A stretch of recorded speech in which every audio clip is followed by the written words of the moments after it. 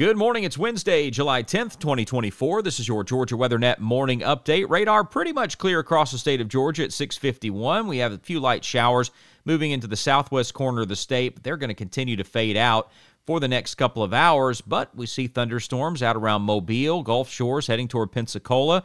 Those storms are going to hold together and continue to move our direction. So we'll see some showers and thunderstorms mainly along the uh, Georgia Florida line as we move through the day today, but isolated showers and thunderstorms can't be ruled out anywhere else in the state of Georgia as well. So we do have a rain chance on the board throughout the state, but they'll be very isolated with the exception of those clusters of storms down in South Georgia. No heat advisory today. That's good news, and we're going to continue to improve on our humidity for the next couple of days, which we'll talk about. First of all, our temperatures as we get started this morning low 70s in parts of North Georgia, mid 70s, and upper 70s for the rest of the state. So it is warm out there, and yes, the humidity is a factor today. We'll still have those heat index values at 100 degrees and higher. Upper 90s is what it'll feel like in parts of North Georgia. So let's take a look at the weather model as we get going today, and we'll back this up and start at 8 o'clock this morning. 7 o'clock here is what it looks like. 8, 9, 10. We see those thunderstorms starting to move in as we uh, talked about there in the Florida Panhandle,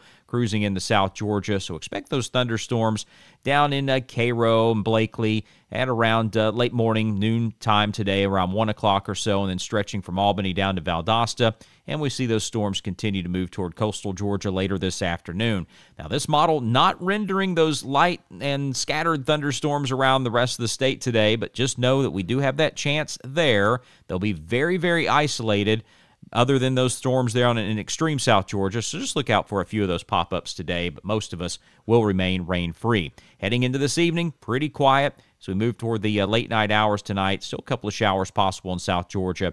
Otherwise, not a big deal. I have a little low pressure system out in the Atlantic Ocean. That's going to push up a few showers. We see those out there to sea. And then that low pressure will start to move up toward South Carolina through the day tomorrow.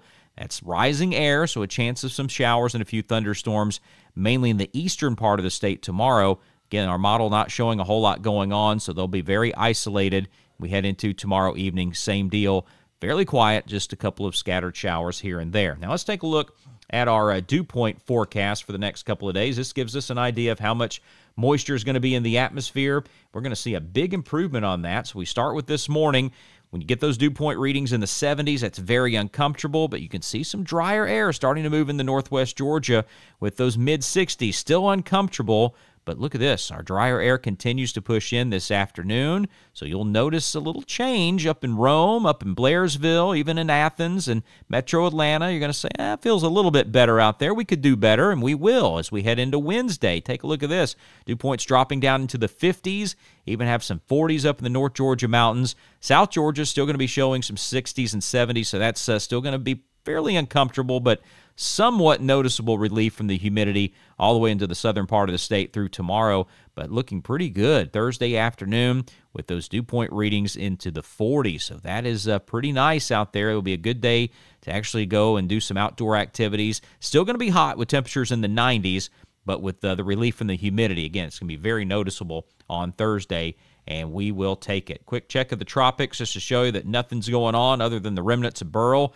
situated right over Fort Wayne, Indiana. That's continuing to track up toward the northeast, heading into Canada. But the rest of the Atlantic basin, all quiet. No development expected over the next couple of days. That's the latest from the Georgia Weather Net. Now, your local forecast from Northwest Georgia to Southeast Georgia.